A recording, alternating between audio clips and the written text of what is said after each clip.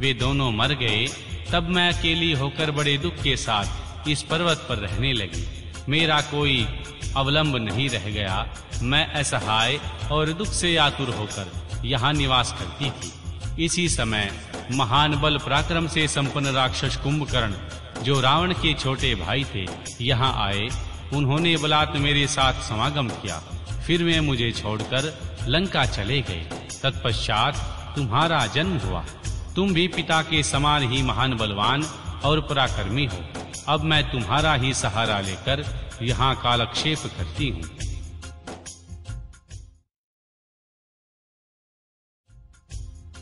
महर्षि सूत जी कहते हैं, ब्राह्मणों, करकटी की यह बात सुनकर भयानक पराक्रमी भीम कुपित हो। यह विचार करने लगा कि मैं विष्णु के साथ कैसा बर्ताव करूँ? उन्होंने मेरे पिता को मार डाला।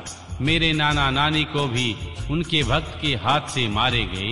विराद को भी इन्होंने ही मार डाला और इस प्रकार मुझे बहुत दुख दिया। यदि मैं अपने पिता का पुत्र हूँ तो श्री हरि को अवश्य पीड़ा दूँगा। ऐसा निश्चय करके भीम महान तप करने के लिए चल पड़ा। उसने श्री ब्रह्मा जी की प्रसन्नता के लिए एक हज़ार वर्षों तक महान तप किया। तपस्या के साथ साथ वह मन ही मन इष्ट देव का ध्यान किया करता था। लोक पिता महाब्रह्मा उसे वर देने के लिए गए और इस प्रकार बोले, श्री ब्रह्मा जी ने कहा, भीम, मैं तुम पर प्रसन्न हूँ। तुम्हारी जो इच्छा हो, उसके अनुसार वर मांग लो। भीम बोला, देवेश्वर, कमलासन यदि आप प्रसन्न हैं और मुझे वर देना ही चाहते हैं तो आज मुझे ऐसा बल दीजिए जिसकी कहीं तुलना ना हो। महर्षि सूत जी कहते हैं, ऐसा कहकर उस राक्षस ने ब्रह्मा जी को नमस्कार किया। ब्रह्मा जी ने उसे अभिष्ट वर देकर अपने धाम को चले गए। ब्रह्मा जी से अत्यंत बल पाकर राक्षस अपने घर आया और माता को प्रणाम करके शीघ्रता पूर्वक बड़े गर्व से बोला, माँ, अब तुम मेरा बल देखो। मैं इंद्र आदि देवताओं तथा इनकी सहायता करने वाले श्री हरि का महान संहार कर डालूँगा। ऐसा कहकर भयानक पराक्रमी भीम ने पहले इंद्र आदि सब देवताओं को जीता और उन सबको अपने अपने स्थान से निकाल बाहर किया। तदन अंतर देवताओं की प्रार्थना से उनका पक्ष लेने वाले श्री हरि को भी उसने युद्ध में हराया। फिर प्रसन्नता पूर्वक पृथ्वी को जीतना आरंभ किया। पहले पहल वह कामरूप देश के राजा सुदक्षिण को जीतने के लिए आया। वहाँ राजा के साथ उसका भयंकर युद्ध हुआ।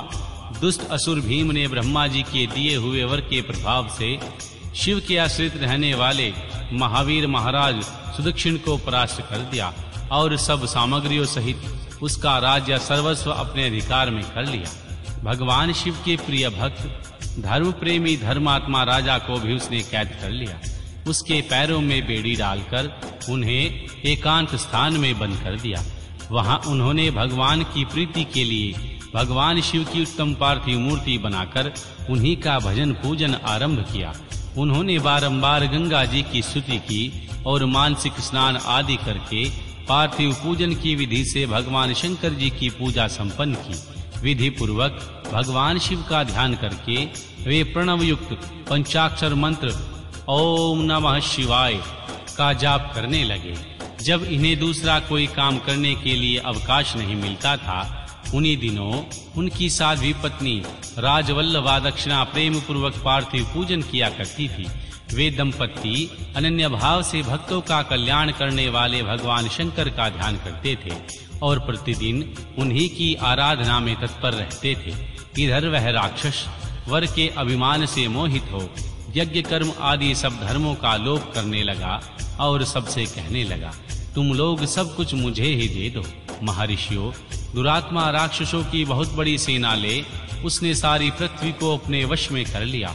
यह वेदों, शास्त्रों, स्मृतियों और पुराणों में बताए हुए धर्म का लोप करके शक्तिशाली होने के कारण स्वयं ही उसका उपभोग करने लगा।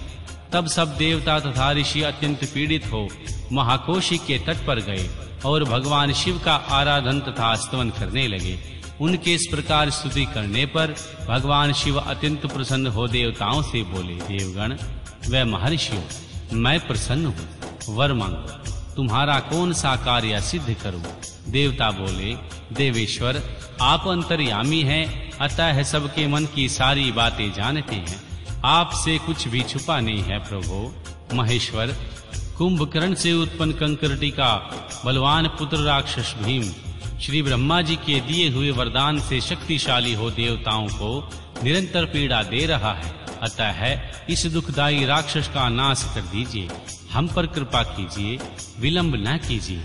शंभु ने कहा, देवताओं, कामरूप देश के राजा सुदक्षिण मेरे श्रेष्ठ भक्त हैं।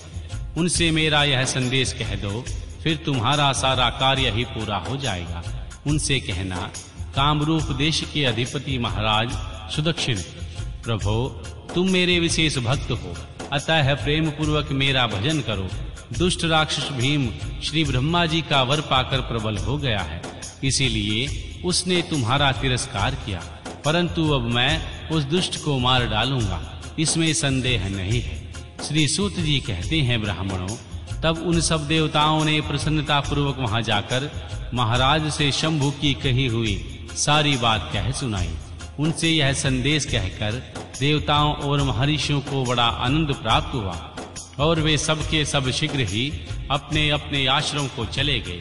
इधर भगवान शिव भी अपने गणों के साथ लोक हित की कामना से अपने भक्तों की रक्षा के लिए सादर उनके निकट गए और गुप्त रूप से वहीं ठहर गए। इस समय कामरूप नरेश ने पार्थिव शिव के सामने गाढ़ा ध्यान लगा रखा था। इतने में ही किसी ने राक्षस से जाकर कह दिया राजा, तुम्हारे नाश के लिए कोई पुरुषचरण कर रहा है। यह समाचार सुनते ही वह राक्षस कुपित हो उठा। उनको मार डालने की इच्छा से नंगी तलवार हाथ में लिए राजा के पास गया, जहाँ पार्थिव आदि जो सामग्री स्थित थी, उसे देखकर उनके प्रायोजन और स्वरूप को समझकर राक्षस ने यही माना, राजा मेरे लिए कुछ कर रहा है, अतः सब सामग्रियों सहित इस नरेश को मैं बलपूर्वक अभी नष्ट कर देता हूँ। ऐसा विचार कर उस महाक्रोधी राक्षस ने राजा को बहुत डांटा और पूछा, क्या कर रहे हो? राजा ने भगवान शंकर पर रक्षा का भार सौंप कर कहा, मैं चराचर जगत के स्वामी भगवान शिव का पूजन करता हूँ। तब राक्षस भीम ने भगवान शंकर के प्रति बहुत तिरस्कार युक्त दुर्वचन कहे। राजा को धमकाया और भगवान शंकर की पार्थिव लिंग पर तलवार चलाई। वह तलवार उस समय पार्थिव लिंग का स्पर्श भी नहीं कर पाई। उससे पहले साक्षात भगवान हर वहाँ प्रकट हो गए और बोले, देखो, मैं भीमेश्वर हूँ और अपने भक्त की रक्षा के लिए प्रकट हुआ हूँ। मेरा पहले से ही यह व्रत है कि मैं सदा अपने भक्तों की रक्षा करूँ। इसलिए भक्तों को सुख देने वाले मेरे बल की ओर दृष्टिपात करो। ऐसा कहकर भगवान शिव ने पिनाक से उसकी तलवार के दो टुकड़े कर दिए। तब उस राक्षस ने फिर अपना त्रिशूल चलाया, परंतु शंभु ने उस दुष्ट के त्रिशूल के भी सैकड़ों टुकड़े कर डाले। तदन अंतर शंकर जी के साथ उसका घोर युद्ध हुआ। इसमें सारा जगत क्षुब्ध हो उठा। तब नारद जी ने आकर भगवान शंकर से प्रार्थना की। महर्षि नारद बोले, लोगों को भ्रम में डालने वाले महेश्वर, मेरे नाथ, क्षमा कीजिए। तिनके को काटने के लिए कुल्हाड़ा चलाने की क्या आवश्यकता है? शीघ्र ही इसका संहार कर डाली महर्षि नारद जी के इस प्रकार प्रार्थना करने पर भगवान शंभु ने हुंकार मात्र से उस समस्त राक्षस को भस्म कर डाला। मुने, सब देवताओं के देखते देखते भगवान शंकर ने उन सारे राक्षसों को दग्ध कर दिया। तदन अंतर भगवान शंकर की कृपा से इंद्र आदि समस्त देवताओं और मुनीश्वरों को शांति मिल गई। संपूर्ण जगत स्वस्थ हुआ। उस समय देवताओं और विशेषतः मुनियों ने भगवान शंकर से प्रार्थना की, प्रभु, आप यहाँ लोगों को सुख देने के लिए सदा निवास करें। यह देश निंदित माना गया है। यहाँ आने वाले लोगों को प्राय दुख ही प्राप्त होता है। परंतु आपका दर्शन करने से यहाँ सबका कल्याण होगा। आप भीम शंकर के नाम से विख्यात होंगे और सबके संपूर्ण मनोरथों की सिद्धि करेंगे। आपका यह ज्योतिर्लिंग सदा पूजनीय और समस्त आपत्तियों का निवारण करने वाला होगा। महर्षि सूत जी कहते हैं, ब्राह्मणों, उनके इस प्रकार प्रार्थना करने पर लोक हितकारी एवं भक्त वत्सल परम स्वतंत्र शिव प्रसन्नता पूर्वक वहीं स्थित हो गए। ओम नमः शिवाय।